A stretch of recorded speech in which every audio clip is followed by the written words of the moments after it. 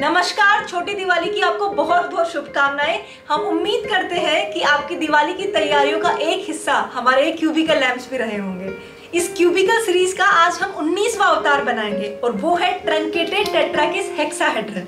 नाम सुन के घबराइएगा मत। इसको बनाना, इसके नाम जितना मुश्किल नहीं है। इसको बनाने के लिए जो टेम्पलेट डिस्क्रिप्शन बॉक्स में डाला हुआ है, उसको डाउनलोड करें और चार्ट पेपर पर चिपका कर काट लें।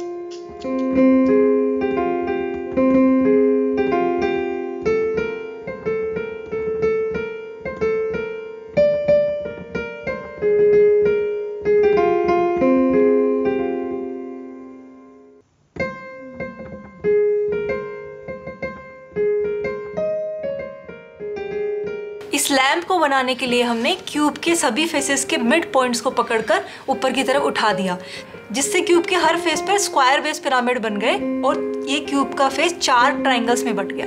अब हमें जो ये नया स्ट्रक्चर मिला, इसको हम ट्रंकेट करेंगे। ट्रंकेट करने का मतलब है कि जो सारे वर्टेक्स हैं, उनको हम काट देंगे। तो पहले जब ये वाले वर्टेक्स को काटेंगे तो यहाँ हमें बीच में एक छोटा स्क्वायर मिलेगा। वो हम इधर देख सकते हैं। अब अगर हम इन कोनों को काटेंगे, ये वाले कोनों को काटेंगे तो यहाँ हमें रेगुलर हेक्सागन्स मिलेंगे। जो हम इसको अगर काट दें तो यहाँ पे रेगुलर हेक्सागन मिल गया। और जो ये वाला स्पेस बचा ट्राइंगल का बाकी का हिस्सा बचा, वहाँ पे अगर ये हिस्सा भी काट देंगे तो यहाँ पे इरेगुलर हेक्सागन्स मिलेंगे। वो हम इस स्लैम्प में अच्छे से देख भी सकते हैं कि ये स्क्वायर है जो हमें बीच में मिला। और उसके चारों तरफ़ चार इरेगुलर हेक्सागन्स है जो यहाँ पे हमें मिलेंगे। और इसके कोनों पर हमें रेगुलर हेक्सागन्स मिलेंगे और आप इसमें भी देख सकते हैं कि ये रेगुलर हेक्सागन हर कोने पे है। इन 20 लैंप में से किन्हीं 10 लैंप्स को बनाने पर C C L I I T Gandhinagar की तरफ़ से आपको एक सर्टिफिकेट भी दिया जाएगा। और उसके लिए गूगल फॉर्म का लिंक हमने डिस्क्रिप्शन में डाल दिया है। वहाँ आप बनाए हुए लैंप्स के फ़ोटोज़ को अपलोड कर सकते हैं और आप सर्टिफिकेट पा सकते हैं।